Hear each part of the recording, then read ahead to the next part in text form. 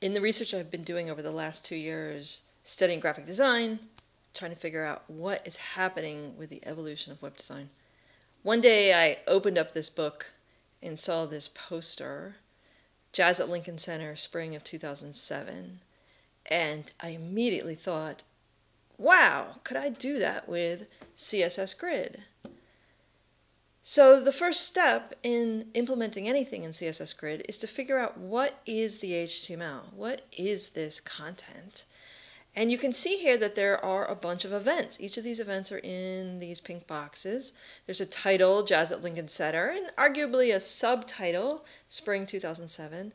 There's also this little bit about tickets and how to get tickets, where to buy them, where to call for them. There's a logo in the bottom left-hand corner.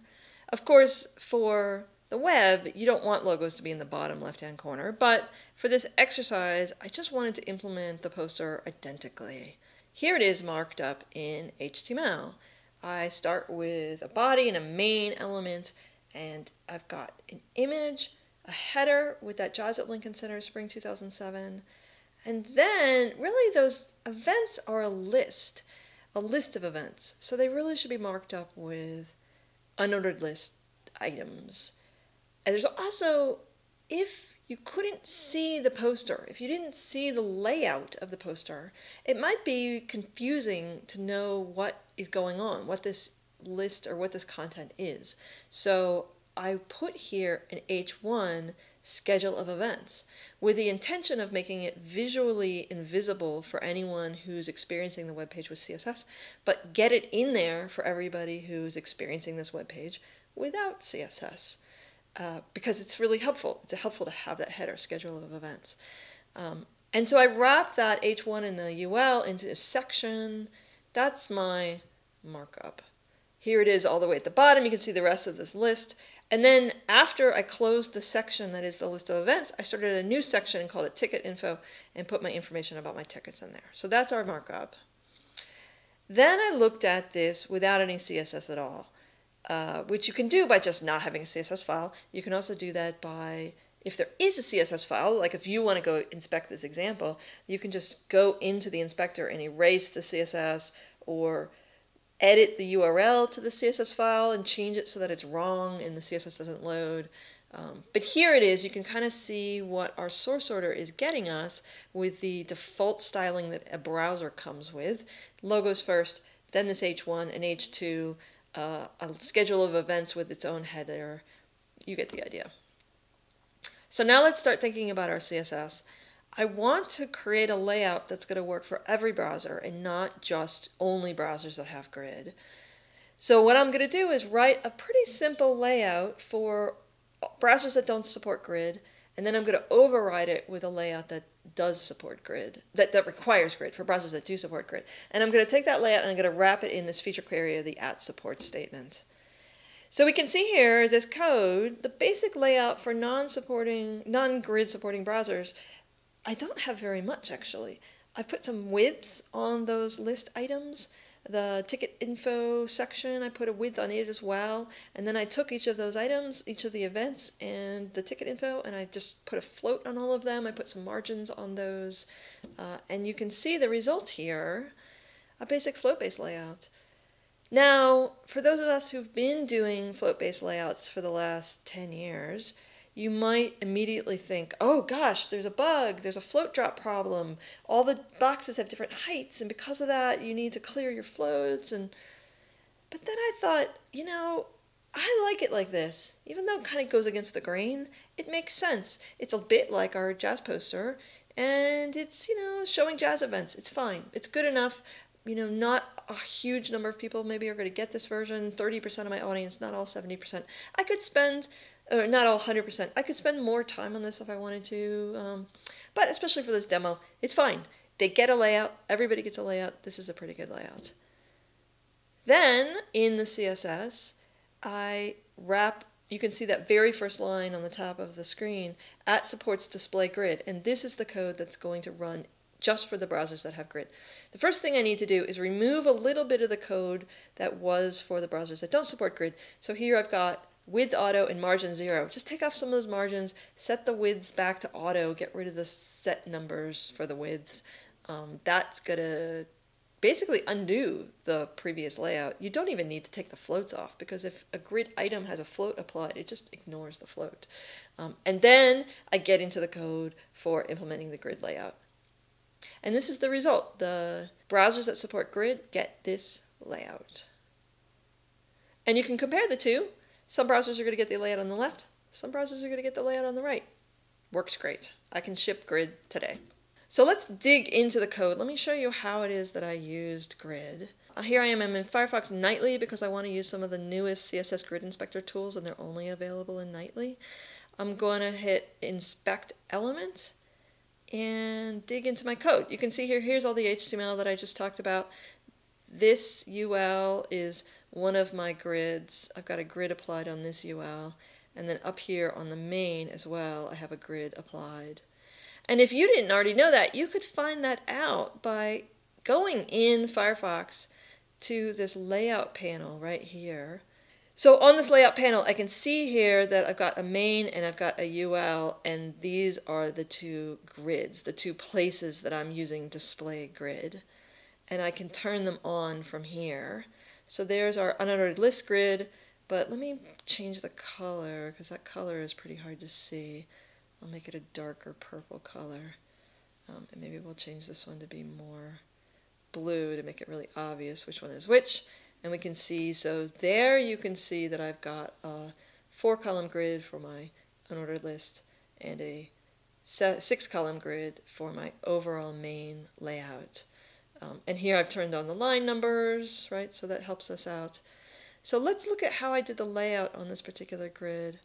Um, we can see here the UL, I've got display grid, and I've said grid template columns repeat for 14 VW.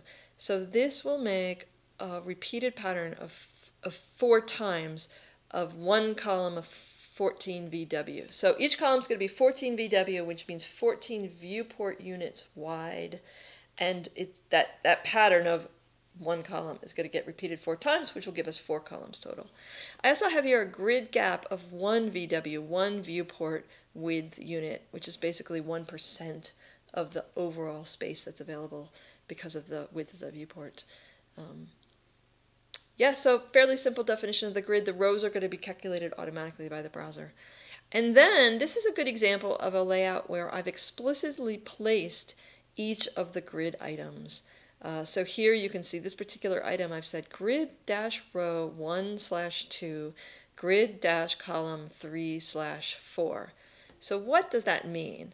That means I would like you, browser, to take this particular item and put it between grid row line 1 and grid row line 2 and also put it between grid column line 3 and grid column line 4. This syntax 3 slash 4 means I want the start line to be line 3 and I want the end line to be line 4. So it puts it right here between line 3 and line 4. That's how we place this particular item in this particular cell. And then we can look at this one and it goes from grid row 2 to 3, see from 2 to 3, and it goes from grid column 4 to 5, here 4 to 5, so let's look at this one. We would expect this to go, it's going to go from column 1 to 2, row 3 to 4. Let's click and look. Yep, column 1 to 2, row 3 to 4. Look, happening what we think. And we can move this around. Like we could say we want this to start on 2, and it's going to move it up. We could say we want it to end on 3.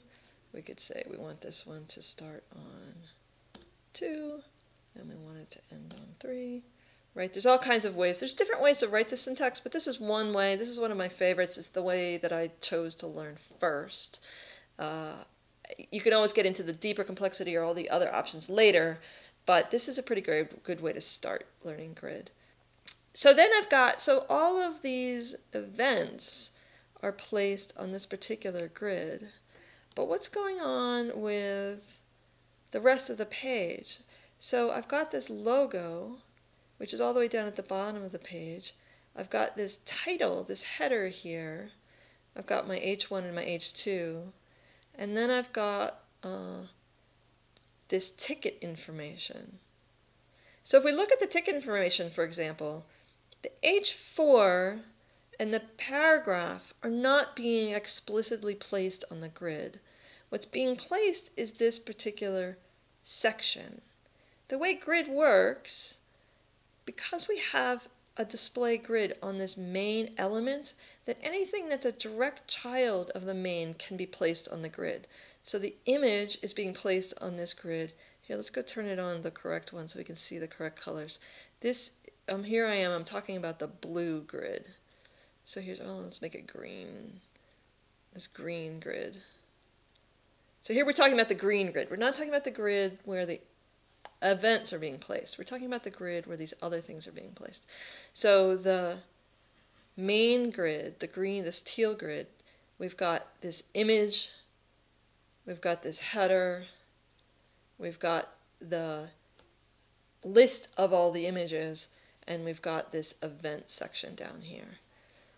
Things that are grandchildren, that are two levels down from the main element, you can't place those on the grid, not using display grid. In the future, we're going to have a tool called display subgrid that would let us kind of take a grid from one level in the DOM and suck it down into a different level and push it back up to the first top level and get it from a parent to a grandchild or great grandchild. But we don't have display subgrid yet, at least not in the summer of 2017. Hopefully, it will come soon.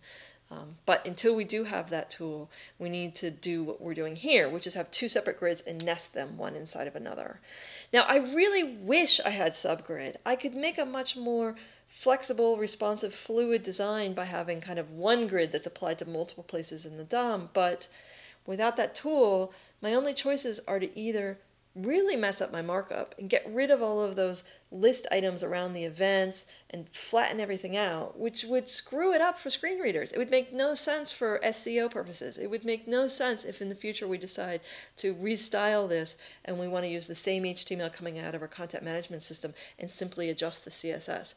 That's a bad idea. So what's most important is to set the HTML, keep that HTML locked down, and then do the layout whatever, using whatever technique we need to. So that's why I have two separate grids, one nested inside of another. It's also why I'm using viewport units to size my grid, because I want these two grids to be identically on top of each other, and using viewport units seemed to be the best way to do that. I'm still exploring to see if there might be another possibility, another way to get everything to keep its size, but without using viewport units, I wasn't really, I didn't have an, I, I couldn't find a way yet to do it. So that's why I'm using viewport units. And you can see here then, so uh, for example, let's look at this header. This is getting applied to grid column 1 to 4, which means, you know, it's going from 1 to 4. And it's going get, doing grid row 2 to 3. And that's, you can see that it's in three cells. It's not in one cell, it's in these three separate cells. I also have an align self center applied, where I could say align self start, in which case it'd end up at the top of that space or I could say align self end, where it ends up at the bottom of that space. The reason that we have vertical centering here, and it's being centered in this space, is because of this alignment property being applied, align center. Alignment in the world of grid always goes in the block direction, and justify, like justify content, justify self, always goes in the inline direction. So here we wanted to go in the vertical direction, and that's the block direction in this particular writing mode. So we're going to use align self. So check this out. You can uh, go to labs.jensimmons.com and inspect this example yourself. Uh, use the Firefox Grid Inspector to really get in there and see how I put it together. If you have a different version, a different a way that you think the CSS could be better, I'd love to see it. Post it somewhere and send me a link, and uh, maybe you'll give me good ideas about how to make this example better.